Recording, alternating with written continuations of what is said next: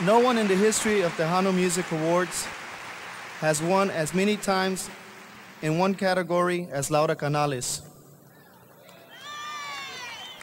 who has dominated the Female Vocalist of the Year for the past five consecutive years, a remarkable record.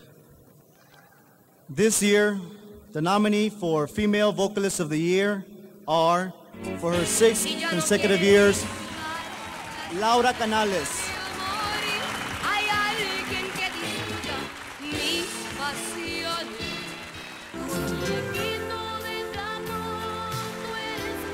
Salina y los dinos.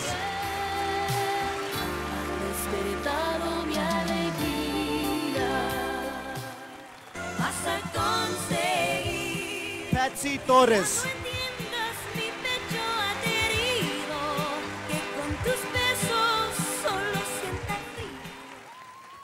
The people of Texas have voted Selena, Selena Quintanilla. Tú